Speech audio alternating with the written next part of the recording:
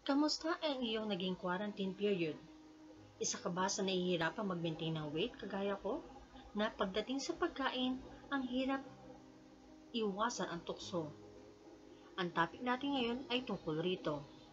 Hindi sa pagkain ha. Destination 1.3 Pagtitimpi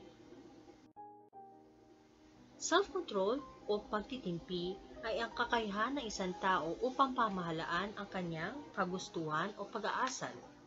Ang kabaliktaran nito ay ang ang kontrol sa sarili ay ang pagkonsinti sa layaw o pagpapadala sa mga kagustuhan at damdamin na para ba ang mga ito na lang ang nagtatakda ng magiging asal, kalaunan, magiging ng buong buhay. Pag sinabi mong pagtitimpi, it is the ability to control behaviors in order to avoid temptation and achieve goals.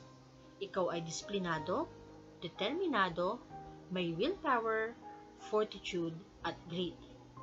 Mag-iba't ibang uring pagtitimpi. Papasadahan lamang natin ito upang magkaroon ka ng ideya.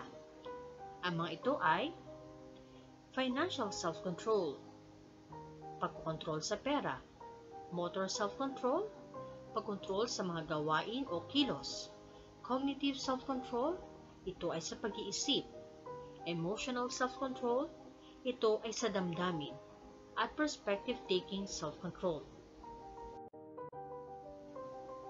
Dahil sa control sa sarili, marami kang natututunan. Gaya na nakikita nyo sa comic skit nito ni Kevin Spear noong 2010, isa ito sa mga halimbawa ng pagtitimpi sa sarili. Pag may pagtitimpi ka sa sarili, natututo kang gumawa ng maakop o tamang desisyon. Nasusuri mo rin na mabuti ang mga sitwasyon. At huli, na pag-iisipan ang ng mainam at ang tamang gawain. Lagi mong tandaan, sa bawat maliit o malaking desisyong gagawin mo sa bawat araw, kailangan mo magkaroon ng kontrol sa sarili dahil may pananagutan ka sa iyong kapwa.